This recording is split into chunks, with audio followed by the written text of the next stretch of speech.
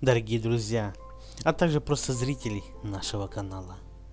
Сегодня мы, к сожалению, снова спешим с вами поделиться печальным известием, которое пришло к нам буквально полчаса назад. Нам сообщили, что сегодня в одну из больниц города в тяжелом состоянии была доставлена российская певица Натали. Все знают и любят эту певицу. Все слушают до сих пор ее песни. Очень любят многие ее концерты. Мы пытались разобраться в этой ситуации и узнать, что же случилось с нашей любимой певицей и как она попала в больницу.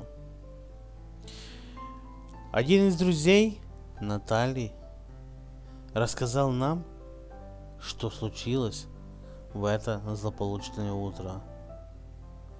Оказывается, Натали на своем личном автомобиле ехала к своим друзьям Подмосковья. На перекрестке ей дорогу не уступил больше груз. Произошло лобовое столкновение. Удар был настолько сильным, что автомобиль Натали выбросила с дороги и перевернулся.